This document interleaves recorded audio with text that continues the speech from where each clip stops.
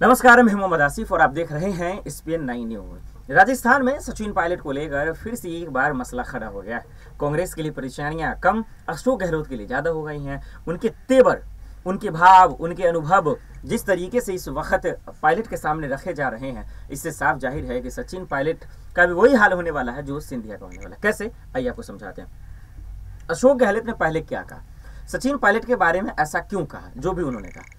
बहुत सारे सवाल है। तो पहले समझते उन्होंने क्या कहा। पहली बात तो उनको, उन्होंने गद्दार बताया। फिर उन्होंने ये भी कहा कि उनके साथ ज़्यादा विधायक नहीं है, न ज़्यादा एमएलए हैं।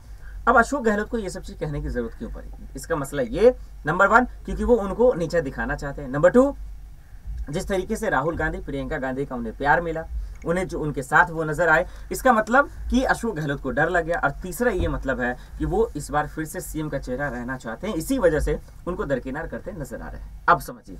सचिन पायलट क्या कह रहे हैं? सब मुख्यमंत्री पलटने के लिए उन्होंने जो है सुझाव दिया। अब सचिन पायलट का जवाब आता है, जब अशोक गहलोत ने कहा। सचिन पायलट ने कहा कि देखिए, ज़्यादा उड़ने की ज़रूरत नहीं है, ज़्यादा हीरो बनने की ज़रूरत नहीं है। आप तजुर्बेकार हैं, आप बुज़ुर्ग हैं, आपको अपने उम्र का लिहाज रखना चाहिए। एकदम सही कहा सचिन पायलट ने।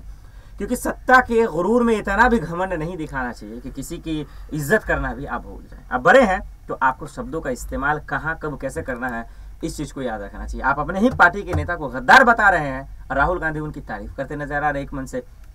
इसका मतलब ये कि या तो आप सत्ता कुर्सी के खेल में आप या तो शुरू हो गए हैं, या इसका मतलब ये कि आपको डर सता रहा बहरहाल, देखना होगा कि राजस्थान के चुनाव में क्या होगा, सीएम के चेहरा को लेकर क्या होगा, और सचिन पायलट ने फॉर्मूला यही दिया है कि साफ़ कर दीजिए कि सीएम का चेहरा कौन होगा, ये बात आपको समझना पड़ेगा। और इसका मतलब ये कि अब सचिन पायलट भी कोई कड़ा एक्शन लेने वाले हैं, बड़ा एक्शन लेने वाले हैं जिससे या तो कांग्रेस को फ़ायदा या नुकसान ही पहुँच सकता है। देखते हैं आगे क्या कुछ होता है। देश दुनिया की बाकी खबरों के लिए देखते रहे स्पेन न्यूज़। नमस्कार।